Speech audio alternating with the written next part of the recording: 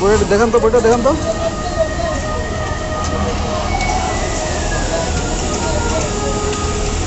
আরে জটিল হয়ে যাবে রে হ্যাঁ জটিল হয়ে যাবে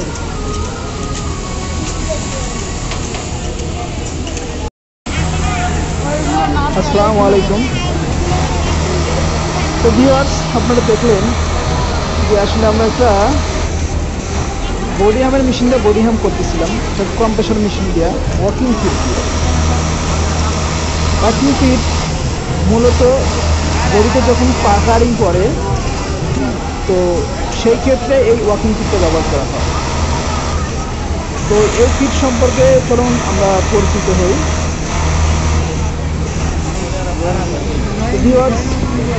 আমরা ফিটটা খুলে ফিটের কিছু অংশ বিশেষ দেখব।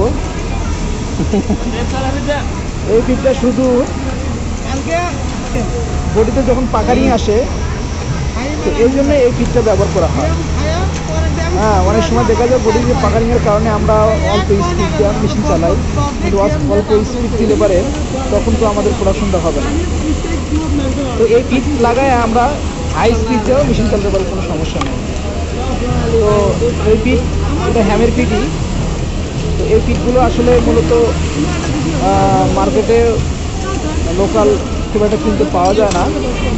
এটা এজেন্টের মাধ্যমে আনতে হয়। তো এখন অবশ্য লোকালও পাওয়া যায়, যদিও দামটা একটু বেশি।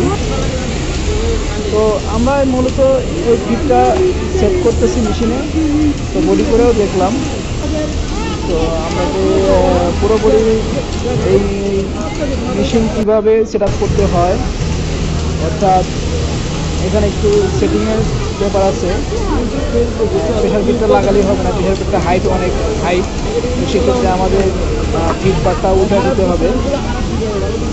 তো আমরা পরবর্তী ফিট নিয়ে আরেকটি ভিডিও করব। তো ওই ভিডিওতে সম্পূর্ণ ডিটেলস আপনাদের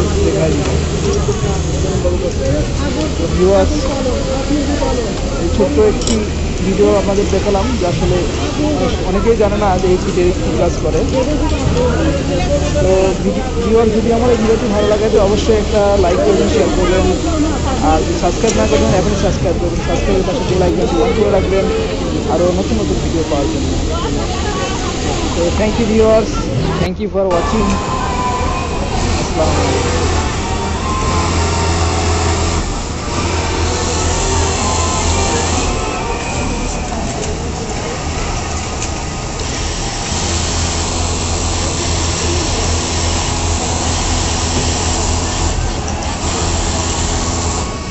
দেখান তো বইটা দেখান তো